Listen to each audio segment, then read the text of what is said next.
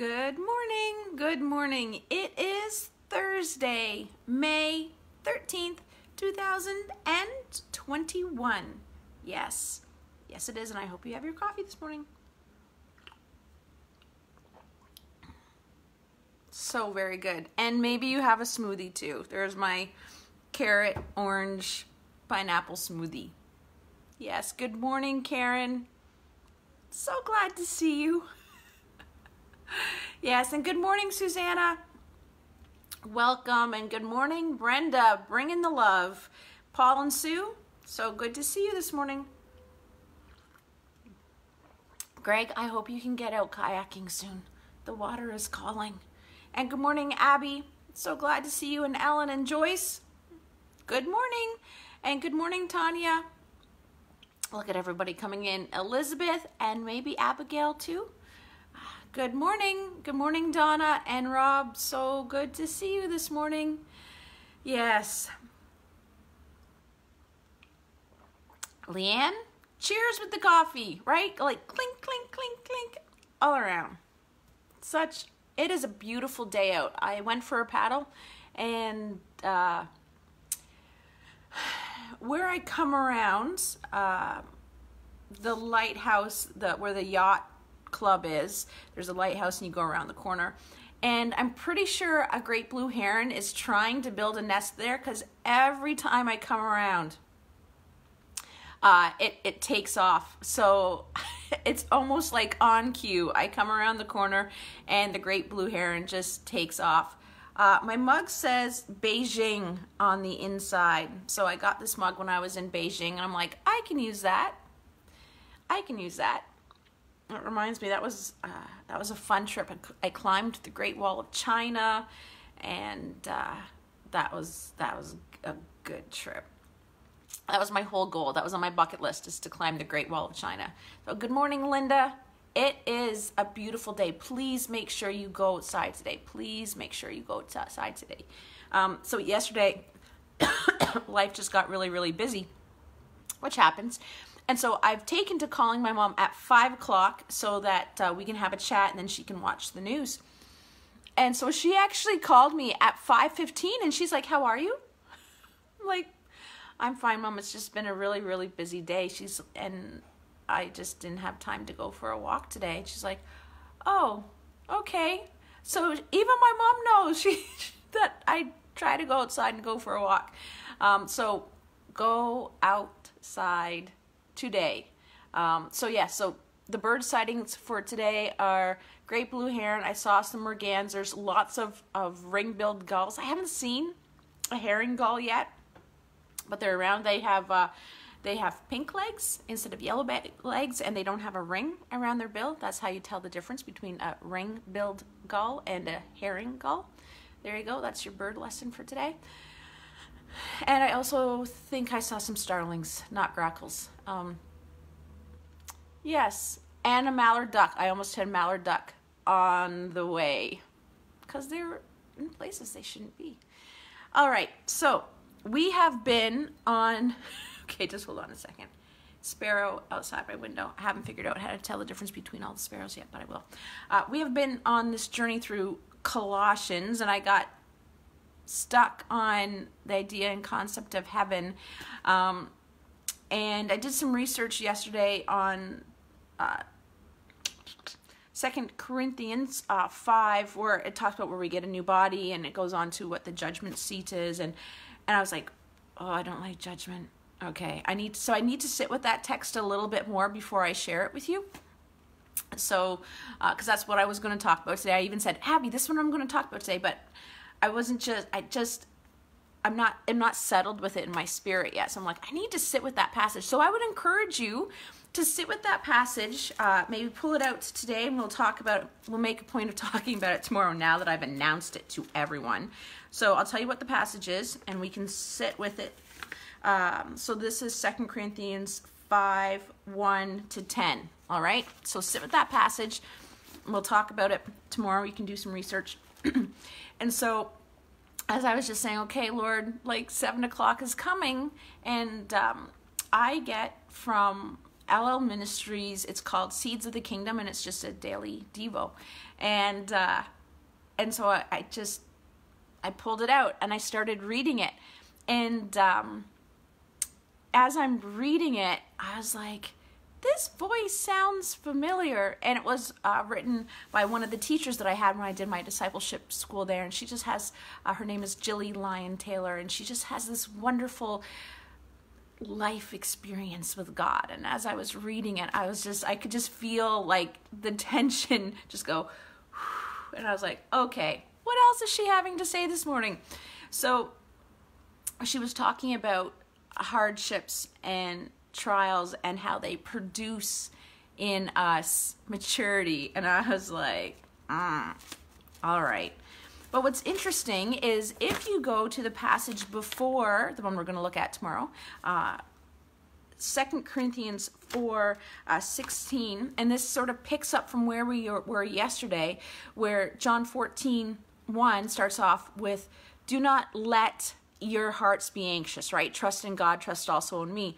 Um, for in my Father's house there are many rooms. If it were not so, I would not have told you, but I'm going to prepare a place for you, right? So that first part of do not let your hearts do not let your hearts be troubled, right?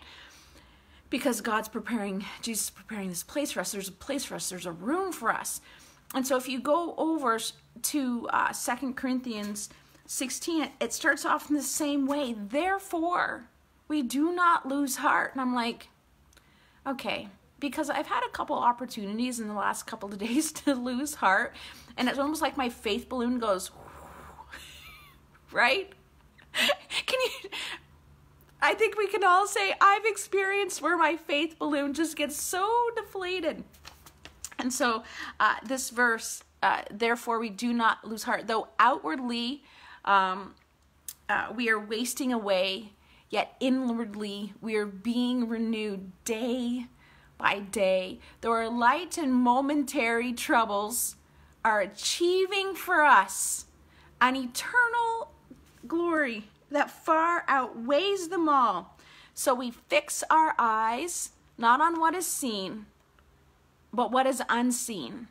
For what is seen is temporary, but what is unseen is eternal so this passage it, it talks about right it's picking up from from john 14 we do not lose heart though outwardly like we're looking around us and we're going oh and and literally we can almost feel the air coming out.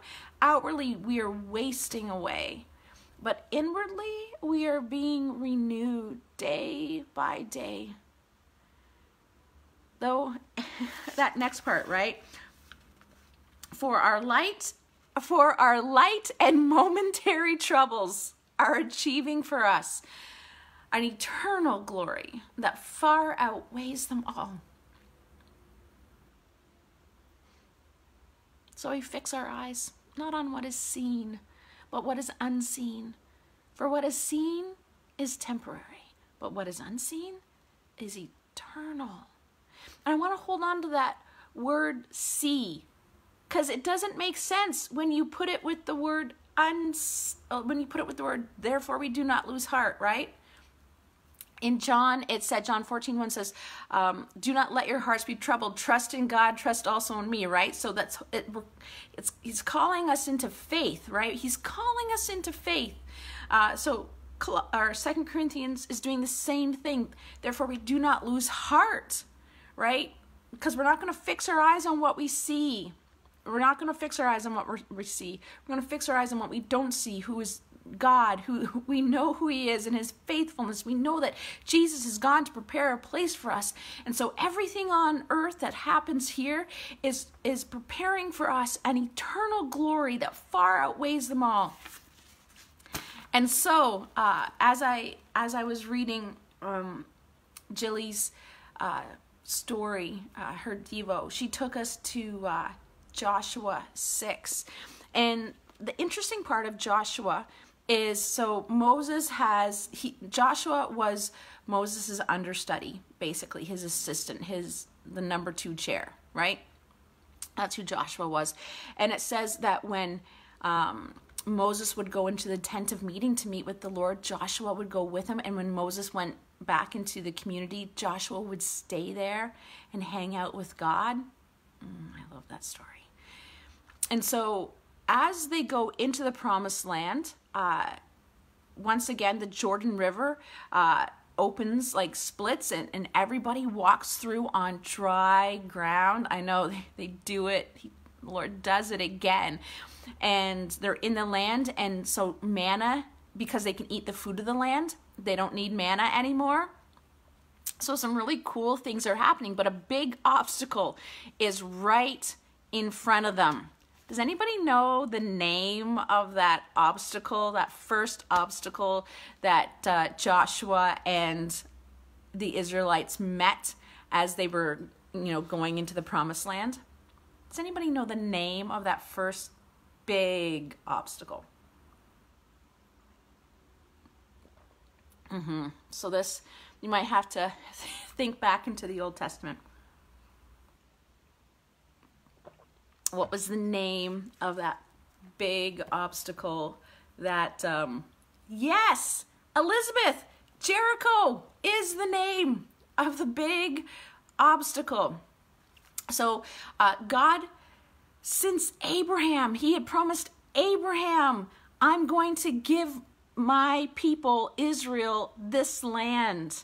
All right, so this is a like 400 year old prophecy, really long time. And so uh, they've they've crossed into the promised land, but there's huge obstacles in the way. And even though God has promised it to them, even though God has met every single need, God has met every single need over and above what they could have imagined, right? They get to Jericho and they're probably thinking, okay, what are we going to do? So this is where we pick up the story. So this is uh, Joshua 6 1. Lord, as we read your word, open open our eyes. Amen. Now, Jericho was tightly shut up because of the Israelites. No one went out and no one came in. Then the Lord said to Joshua, See, I have delivered Jericho into your hands, along with its king and its fighting men. What did the Lord say? I'm going to read it. There's a, a three letter word, a three letter word that I want, I want to, you to hear. Then the Lord said to Joshua, See, I have delivered Jericho into your hands along with its king and its fighting men. What was the three letter word that the Lord said to Joshua? That's the important word that I want us to hold on to. See. Had had the Lord actually done the work yet? Had the city been taken yet? That's the next question. Had the city been taken yet? Look at you guys. You're getting there. Had the city been taken yet? That's the question. Yep. Had the city been taken yet? Had the city been taken yet? No. Okay, I got halfway. The city had not been taken yet. And yet the Lord says to Joshua, See, I've given it into your hands. And I think if I was Joshua, I would be like, What are you talking about? right? And then the next part is, is the crazy part, right? March around the city once and all the with all the armed men, do this for six days. Have seven priests carry trumpets of ram's horns in front of the ark. On the seventh day, march around the city seven times with the priests blowing the trumpets. When you hear the sound, when you hear them sound a long blast on the trumpets, have all the people give a loud shout, then the wall of the city will collapse, and the people will go up, every man straight in, and so he did it. He did it. And it happened. Right? So the things unseen, right? We do not fix our eyes on what is seen because it does not make sense. It does not make sense to walk around a property and the walls fall down. It doesn't make sense. And lots of people have said, well, maybe the weight of the Israelites walking around damaged the foundations of the wall. I'm like, really? I think sometimes, and I do it myself, and I caught myself even doing it today. Um, I see things that I can't necessarily fix, but I try to figure out how I am going to fix them rather than saying, God, how are you going to fix them? Right? So Joshua is looking at this going, You want us to do what? You want us to walk around? And, and God is saying, See, I've delivered it into your hands before it even happened. Before it even happened. And so when we think of our light and momentary troubles that are achieving for us an eternal glory that far outweighs them all, like it's a faith thing. God is calling us to faith in these things. And that is tough because it's hard, it's hard not just to see with our eyes. It's hard. It is hard. And are we able to see with the eyes of faith? This is what Jilly is saying. Are we able to see with the eyes of faith when facing difficulties? Can we see obstacles in our lives and recognize them as opportunities for us to grow in our faith and to see God's hand at work? Are there are there any obstacles or opportunities or obstunities, if you want to call them, in your life at the present time? If so, let us count them as opportunities that are achieving for us an eternal glory that far outweighs them all. So we do not fix our eyes on what is seen, but what is unseen. Right? If God has called us to it and we get to this city of an obstacle, if God has said, See, I've de- delivered it into your hands, we have to sit with that. We have to sit with that. Okay, people. That's it. We're going to pray. Lord, see, see, see, I have delivered the city into your hands and the king. Not just the property, but the people. Father, I confess trying to take things into my own hands to fix it. Lord, I believe, but help my unbelief. And in those areas, for every single person who's listening today, in those things that we're really struggling with, we're, we're like, these ends just don't meet. Would you come and would you meet with us and would you put your hand upon us and would you just say, Stop, child. Let me meet them. Let me fill in the gap. Let me bring the victory. Let me bring the victory. So, Father, help us not to fix our eyes on what is seen, but help us to fix our eyes on what is unseen.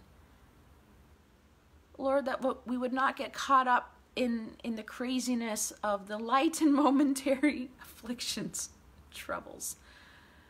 But Lord, that we would persevere and in faith believe that you're going to make ends meet, that you're going to tear down walls, and that you're going to bring the victory. Because you know what we need. And so, Father, would you help us to sit with you today and let you lead us? Would you give us eyes of faith? And we ask this in your name. Thank you for your goodness and grace. Amen. All right, my dear friends, that's it. That's all. Um, yeah, check out the uh, Seeds uh, Seeds of the Kingdom Ellel Ministries uh, daily devotions and just come to your email. They're always so very encouraging. Anyways, you're going to go outside like, and share, and have a great day. That's it, that's all. Bye.